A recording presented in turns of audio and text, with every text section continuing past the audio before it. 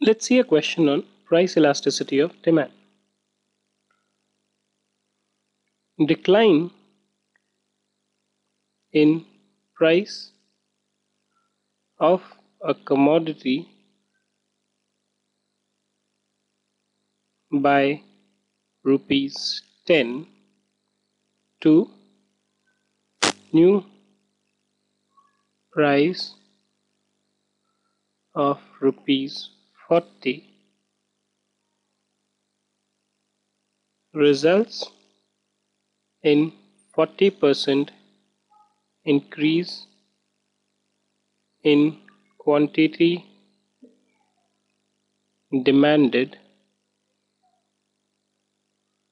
to 70 find demand elasticity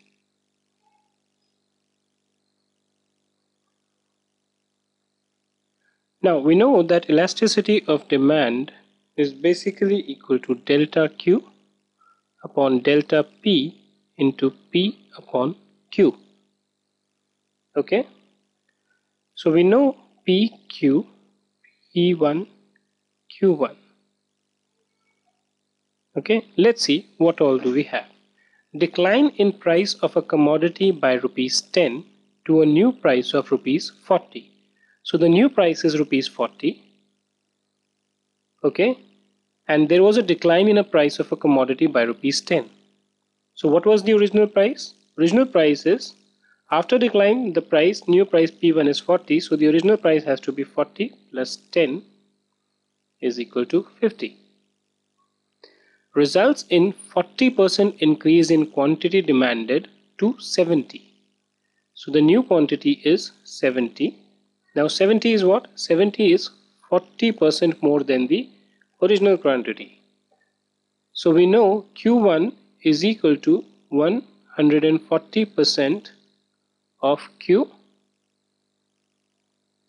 or we know that 70 is equal to 140 upon 100 into Q which means that Q is equal to 70 into 100 upon 140.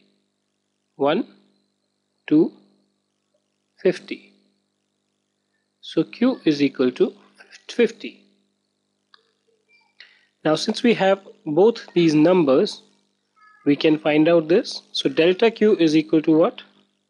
Q1 minus q is equal to 70 minus 50 or 20 p delta p is equal to p1 minus p 40 minus 50 10 we'll ignore the negative numbers out here.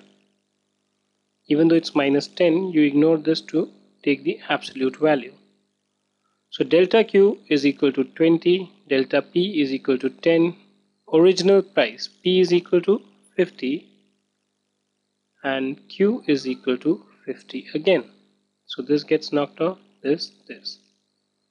2 so elasticity of demand is equal to 2 which means that the goods have elastic demand. Okay, because this is actually more than the unitary demand.